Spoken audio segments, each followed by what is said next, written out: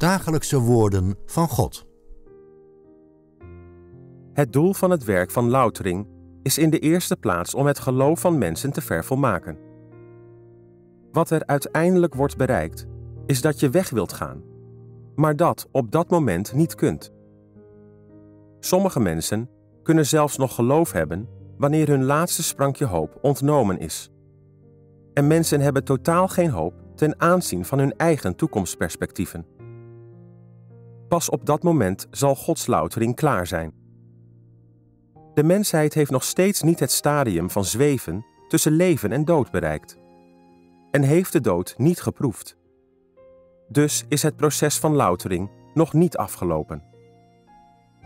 Zelfs degenen die bij de stap van de dienstdoeners waren, waren niet tot het uiterste gelouterd.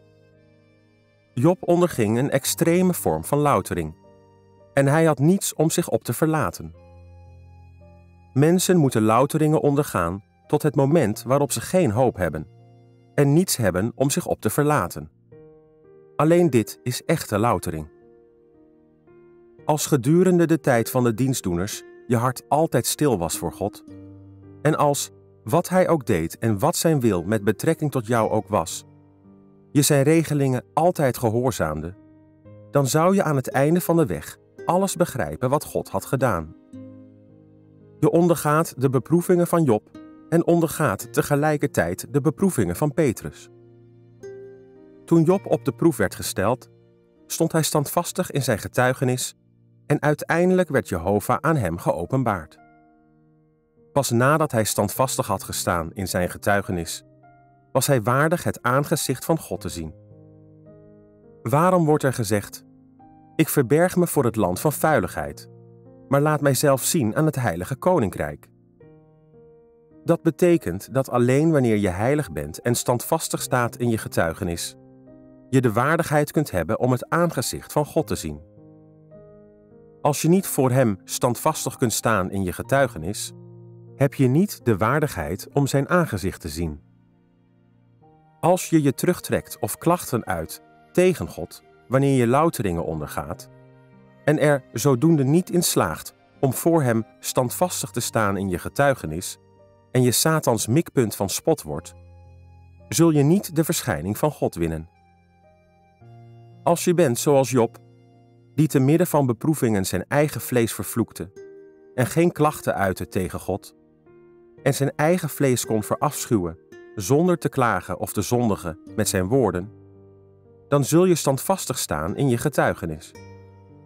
Wanneer je tot op zekere hoogte louteringen ondergaat en nog steeds zoals Job kunt zijn, volkomen gehoorzaam ten overstaan van God en zonder andere vereisten van Hem of je eigen noties, dan zal God aan je verschijnen. Nu verschijnt God niet aan je omdat je zoveel van je eigen noties, persoonlijke vooroordelen, egoïstische gedachten, individuele eisen en vleeselijke belangen hebt. En je het niet waard bent om zijn aangezicht te zien. Als je God zou zien, zou je hem meten aan de hand van je eigen opvattingen. En als je dat deed, zou hij door jou aan het kruis worden genageld. Als er veel dingen over je heen komen die niet in overeenstemming zijn met je noties, maar je toch in staat bent ze opzij te zetten en kennis te verwerven van Gods handelingen uit deze dingen, en als je te midden van louteringen je hart van liefde voor God onthult, dan is dat het standvastig staan in je getuigenis.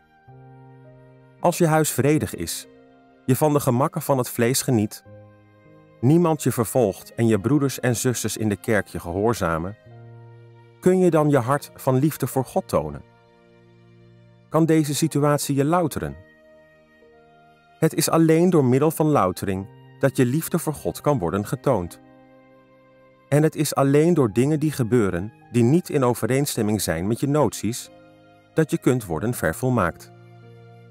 Met de dienst van veel tegengestelde en negatieve dingen en door allerlei manifestaties van Satan te gebruiken, zijn handelingen, zijn beschuldigingen, zijn verstoringen en misleidingen, laat God je duidelijk het afzichtelijke gelaat van Satan zien, waardoor hij je vermogen om Satan te onderscheiden vervolmaakt, zodat je Satan kunt haten en verzaken.